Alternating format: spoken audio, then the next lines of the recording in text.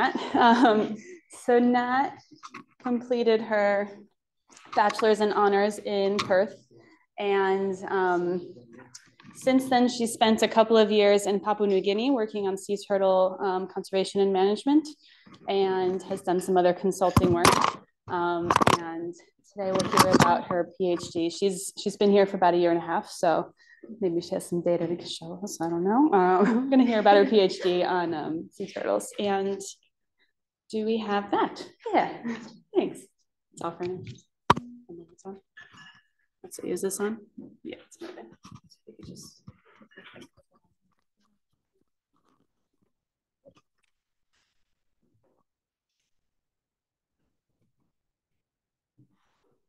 All right. So this is basically a bit of an overview of my PhD and kind of what I've collected so far. So I'll just go through, I've got quite a few super, supervisors from CDU and around Australia, so I'm not going to go through all of those, but you can have a look there. And my PhD is on the habitat use and of habitat use and genetics actually of foraging green turtles in the Northern Territory. Cool. So for those of you who aren't um, in the marine space and turtle experts, I'll just go through a little bit about the turtle life cycle and how that works because it's quite important kind of understand the reasoning behind my PhD. So turtles come up onto their nesting beaches, like these ones here, um, lay their eggs. They'll stay there for about three months. They'll lay eggs every two weeks usually. Um, when the eggs hatch, hatchlings come out, takes about two months, hatchlings come out and they go offshore into a period that's called the lost years. When they're about 15 years old, 15 to 20, they'll come back on, or 10 to 15, they'll come back into some foraging areas. They'll find a spot that seems nice and they'll sit there and they'll eat and they'll grow until they reach about 50 years old. And then they'll travel all the way back to their nesting beach where they were born to lay their eggs again. Um, we think males also do the same thing. They return back to where they were born to mate and then go back, but there's not a lot of evidence of that at the moment. Um, the nesting females, once they're finished, they'll also go back to their foraging ground and it's been proven they have very strong fidelity to both their nesting ground and the foraging ground, um, which means that if you're looking at turtles on a foraging reef, they're made up of turtles from all different areas. Um, so if you're treating foraging turtles and nesting turtles, you have to study them quite differently. So just as an example, this is a bunch of data I've recently been given access to. This has been given to me from Woodside, INPEX and um, Pendoley Environmental. So this is a bunch of turtle tracks, uh, mostly from nesting females, and a couple of males that we tagged at Kakadu um, that were, yeah, tagged at nesting beaches in WA and came through Northern Territory waters. So these are just the Northern Territory ones. I don't have included the ones that went everywhere else. Um, but as you can see, um, they travel from the nesting beaches and go to foraging grounds within the Northern Territory. Our two males here did the same thing, went out to a nesting beach, and then came back to their, their foraging ground. So they undergo quite long migrations when they do this. So for my PhD, I've got my focus is on the foraging turtles in the Northern Territory. And my main sites that we've been to been Field Island in Kakadu, uh, Trepang Bay at Ngurragidguk Balu Marine Park at Cobourg Peninsula, and Marchinbar Island at the Wessel Islands. So my research chapters, um, my first chapter is inferring migration routes through uh, whole mitochondrial DNA sequencing of two uh, key green turtle foraging, um, foraging areas. Um, chapter two is defining the habitats used by foraging green turtles in the top end. Uh, chapter three is looking at the fine scale habitat use and diet of green of foraging green turtles. And finally, integrating expert knowledge into a spatially explicit risk assessment of green turtles in the Northern Territory. So instead of describing how I collect this data in the field, I'm going to show a little video. So there's a reason that most of the data is being collected on nesting turtles, and that is because they are so much easier to find. Come up onto the beach every every year or every two to five years. Um, foraging turtles, you have to catch them in the water, and especially if you're trying to capture males, which we're kind of trying to focus on if we can. So just play a little video.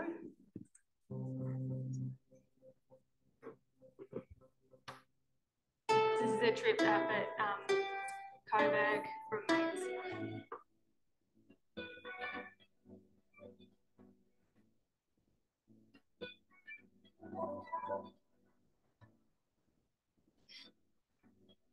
Actually, this one.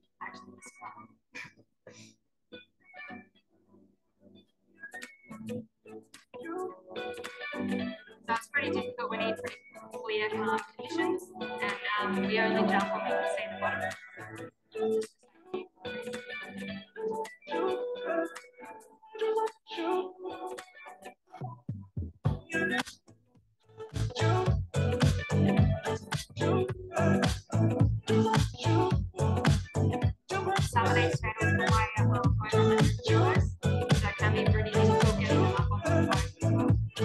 you.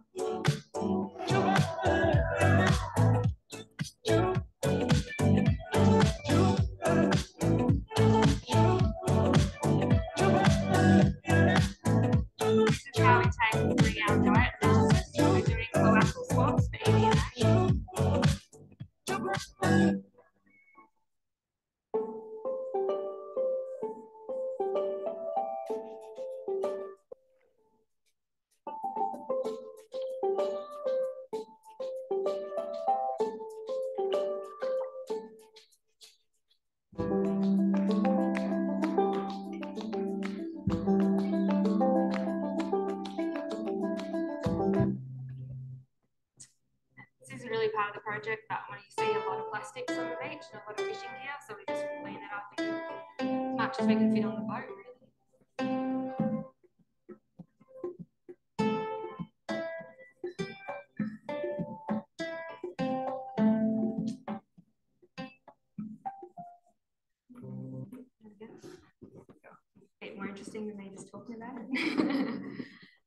so for our genetic sampling, the main two sites I'm focusing on is um, Field Island and Cobourg. You can see why based on the number of samples we've been able to collect. So we've got 43 green turtle samples from Cobourg and 40 from Field Island. Got a couple of hawksbills from each as well.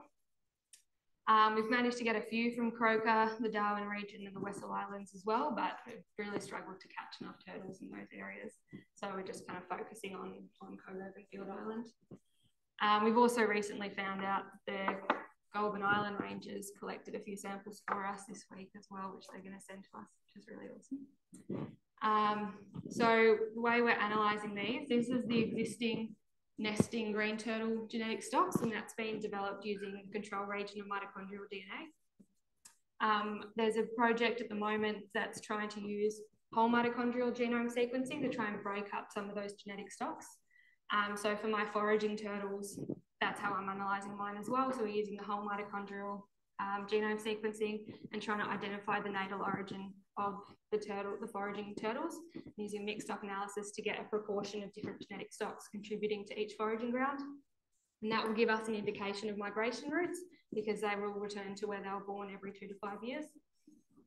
We've also had a, a previous study that was done in 2010, which did um, collected genetic samples from Cobourg and Field Island um, of green turtles, and they just used the control region sequencing, but there's a chance um, we might be able to reanalyze those samples using our methods and compare those proportions over time and see if there's been a change in um, contribution from different nesting stocks. So for the habitat mapping, as you saw, I've got my little GoPro frame that I've put together. Um, so we do five minute tows at set transects. So I've selected um, randomly assigned transect points and stratified by depth. This is a bit of an old map, it's been updated, the more turtles that we've tagged. Um, and then go along, do five meter, five minute transects, and then take screenshots from the, the transect and analyze those for, for percent cover of different, um, different species. So these are the ones that I've analysed so far. Um, so just an example, some of the water clarity is not great, um, particularly at Field Island. Um, so you've got this, this site in particular, you've got the plume from the South Alligator coming out right next to it. Um, but as you can see, you can still kind of get a bit out of it. Down to the bottom. yeah, I can't really see what I'm doing.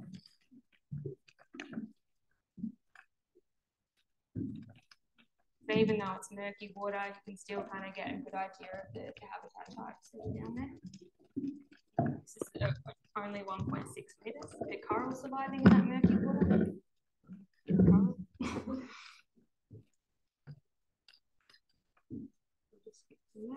Um, this is at Cobourg. Again, just the ones that I've analysed so far. Um, so much clearer water out there. Um, so this one was at 5.6 metres. Um, we've got a nice seagrass meadow, pretty dense seagrass of um, Halophila which is a, a popular turtle species.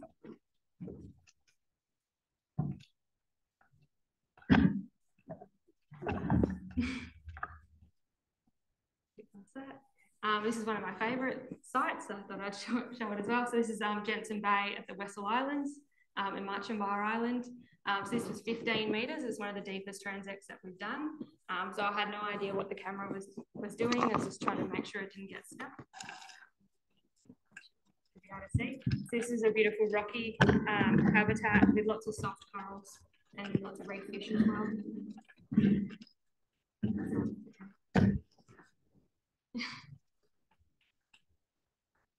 and some pretty strong currents out as well.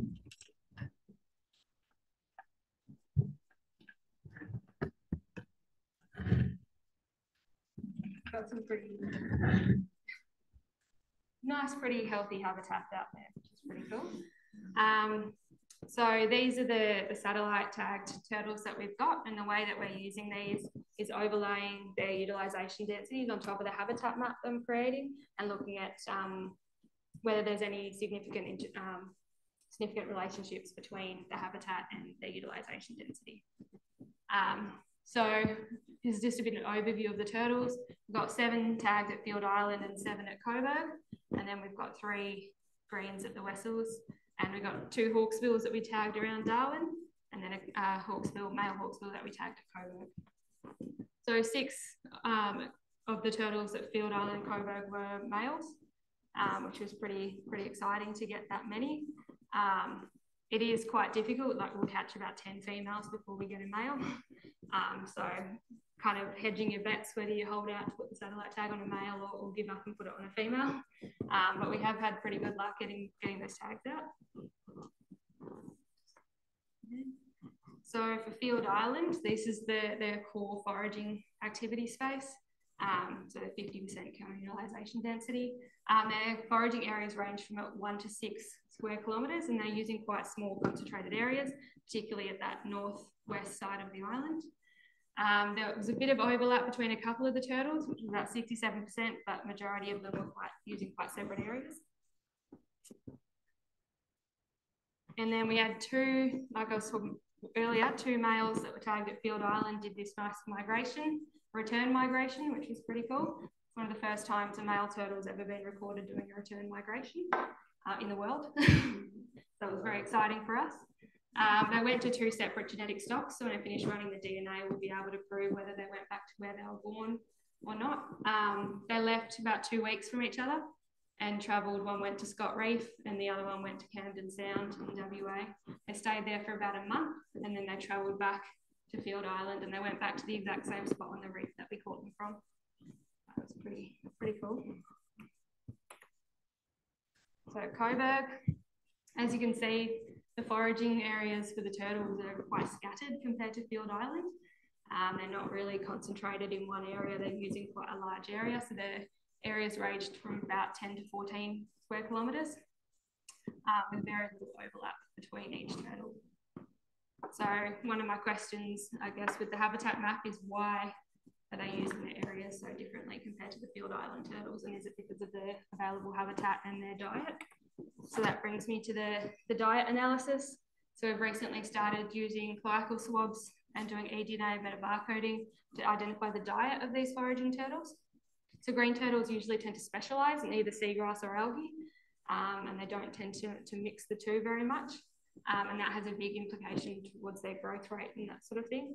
Um, so we've got 18 samples from Cobourg so far and six from Kakadu. Got two more trips this year to get a few more of those samples. Um, we sent those samples off already to EnviroDNA. Um, that will give us a list of um, the species that they're consuming. so my risk assessment chapter. Um, so this is my hazard assessment. This is just a, a rough, some rough maps at the moment. Um, we've got kind of our, our threats, our hazards to um, habitat, so um, sea level temperature, sea temperatures um, in particular. So that's kind of over a whole year, the cumulative um, bleaching alert, which is when there's been anomalies over seven days based on the, sat the satellite um, temperatures from NOAA. Um, so that's, yeah, kind of shows you where which areas are most at risk from, from habitat loss. And then we've got um, shipping density um, across the NT, so just classified it as low, medium and high. Um, these are just two kilometre square grids, they're pretty low resolution. Um, but just looking at where those, particularly these shipping lanes, interact with turtle migration routes or um, foraging areas. So to give you an idea, these are all of those turtles from WA and our turtles from the NT. Um, and I've classified it as either migrating or foraging, foraging behaviour. So it gives you a good idea of where the key foraging areas are across the NT. Um, so particularly around Cobourg and the Tiwis is pretty important. And also these migration routes along here. You can see as well that's 26 turtles that I've gotten there. I'm still adding in a few more. And then I recently got access to this data from INPEX, which is a um, four turtles. One of them only had about nine data points, um, but I've just combined them here um, and just roughly put this together yesterday because I only just got the data, so I haven't processed it properly. Um, but you can kind of see where how they're using the areas around Darwin Harbour, um, near Channel Island and Middle Arm. So the last part of my, so this is kind of part of the exposure assessment. So looking at where, where those threats intersect with the turtle areas. Probably already said that. But, um, the next part is the vulnerability assessment. So the way I'm doing that is looking at, um, there's not much information really about how these impacts are, how these hazards are affecting turtles, particularly in these really remote areas. So I'm using expert opinion surveys and I'm treating the Indigenous rangers and traditional owners as experts in their area. So I'm going to be doing uh, verbal surveys with the rangers to rank the different threats to turtles in their area. Um, so I've got like a survey guide like this one here, um, and the rangers will go through and just rank how regularly they see these kind of hazards in their area and how often, how big of, how big of an impact they, they think that those hazards are having. And these are all of our project partners um, for this. So we've got about eight different ranger groups that we're working with at the moment, as well as um, supervisors from AIMS, Taronga, and then some support from Sea Darwin as well. Thank you.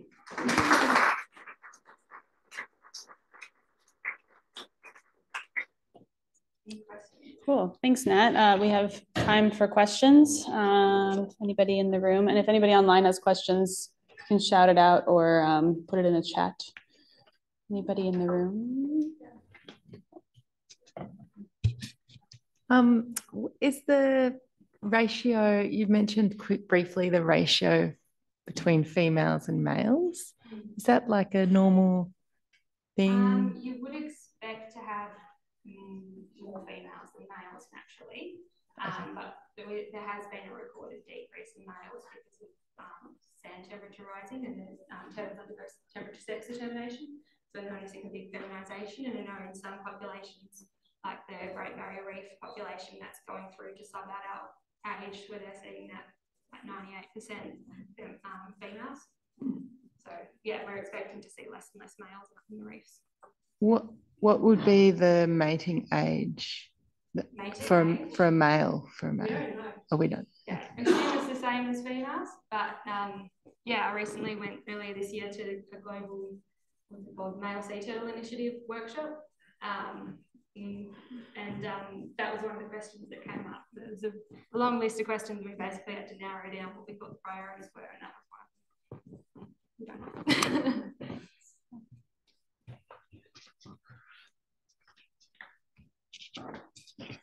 Yeah, how well does DNA survive digestion? Um, well, because it's eDNA, so it's. You'd expect some of it to possibly get lost through digestion, and they've done um, esophageal samples as well instead. But um, I know I spoke to the researchers that did. There's only been one study that's that's done this, and I spoke to them recently, and um, they were using a metal scalpel handle to keep the turtle's mouths open, and they snapped it in half. Um, that was one of the adults, and they're mostly dealing with juveniles for that study. Um, so we decided safety wise that we'd just do the cloacal ones and, and see what we could get out of it. Well, good idea, yeah.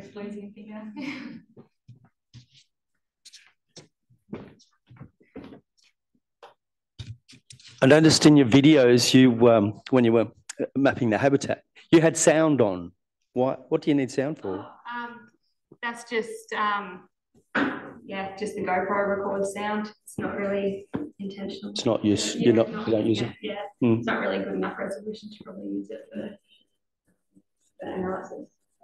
Yeah, cool. You mean you forgot to turn the sound off? Yeah. um, what's think about that last chapter with the threat mapping? You've got all the um the sort of shipping movements, but what do you think about the risk from recreational boating as well? Because that's obviously probably much higher density, but in certain areas. Yes, much higher and people going really fast and people being drunk. Um, But it's difficult to get data on that. So it's kind of where I've come up blank at the moment. I'd say it's, that's probably where much of the business drive coming from.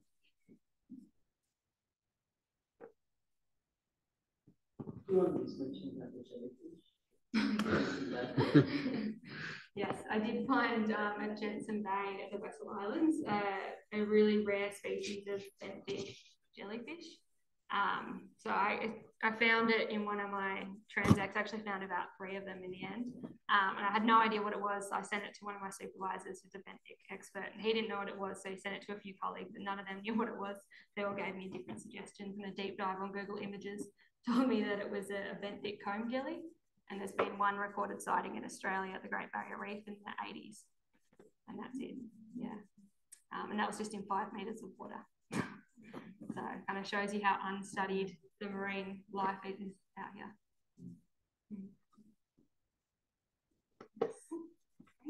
Cool.